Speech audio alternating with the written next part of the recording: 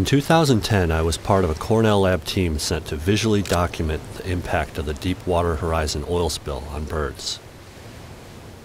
Through detailed observation, we found that the scope of oil contamination was greater than most of us knew. Tens of thousands of birds were oiled to some degree.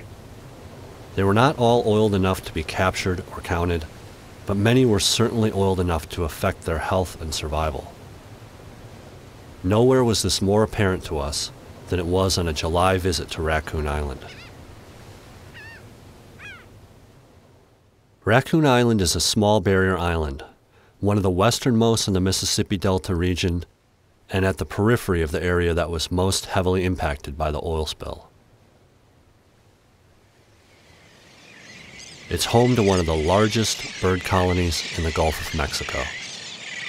Tens of thousands of birds, pelicans, skimmers, and terns nest there.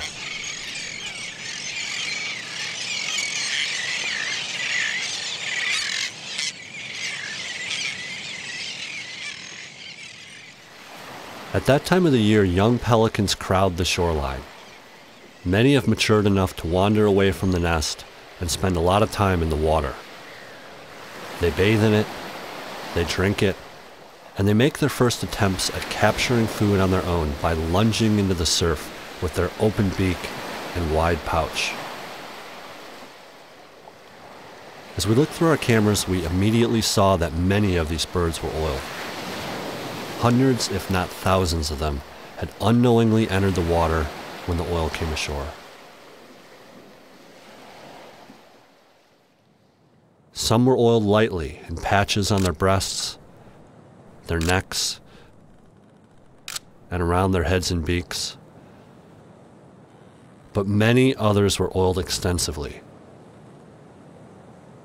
Some stood on the beach, wings outstretched, trying in vain to dry their saturated plumage.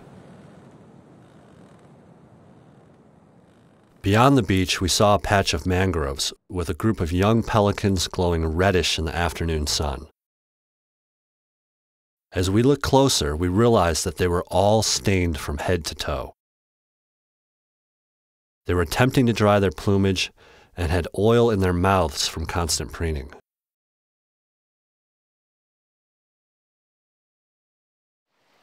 Young terns and skimmers on the island were affected in the same way. From the most mature juveniles waiting to be fed at the water's edge to the youngest of chicks.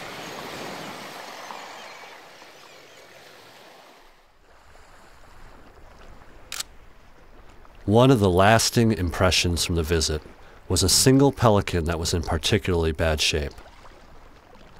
Most of the pelicans we saw had been recently oiled, but this one appeared to have been oiled earlier. It was emaciated and weak, probably starving, and unable to regulate its temperature.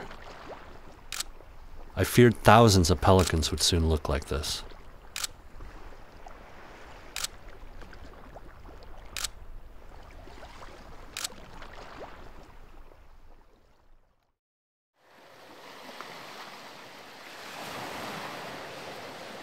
Our experiences in the Gulf showed us the scope and degree to which birds were impacted by the spill.